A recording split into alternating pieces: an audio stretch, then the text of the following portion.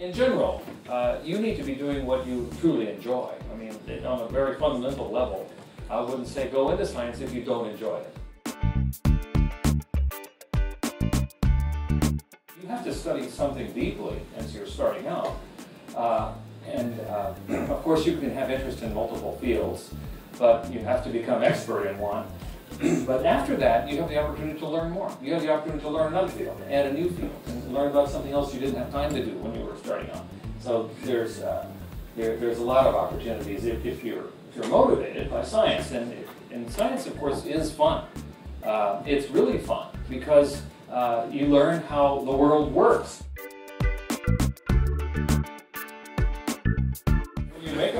Mistake, you, you've got to do that. You've got to laugh at it because then you will remember that and not make that same mistake again. It was a great experience. The thing to remember is that many aspects uh, of what you learn in chemistry can be applied in, in chemistry and in other areas of science. The exponential function appears everywhere in science. It's an amazing fact of mathematics that this transcendental number and an exponential function is so ubiquitous everywhere. And so learning how that works, how rate equations work, how kinetics work in reactions and so forth, can be applied in many, many, many areas of science. It's, it's actually what makes it exciting.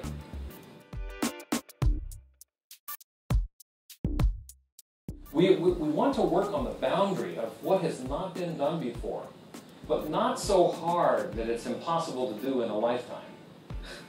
right? You want to do something that's new, therefore, therefore hard enough and not have been done already, but you don't want to do something so hard that it's ridiculous. So that's a fine balance, and there's a lot of thinking.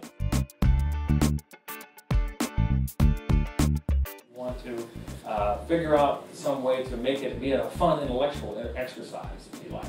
Sometimes when something's repetitive, you can you can turn it into more fun uh, by singing with it or uh, doing something uh, that, that makes it be different and interesting.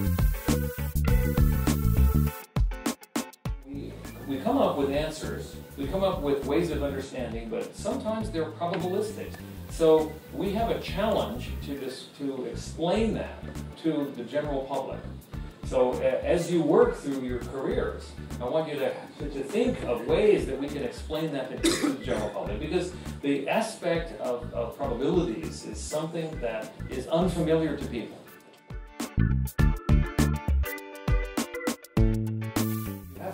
Passion for it, for the science, and I urge you to love it and enjoy it and, and have fun even when things don't work and when they do work. It's very, very rewarding.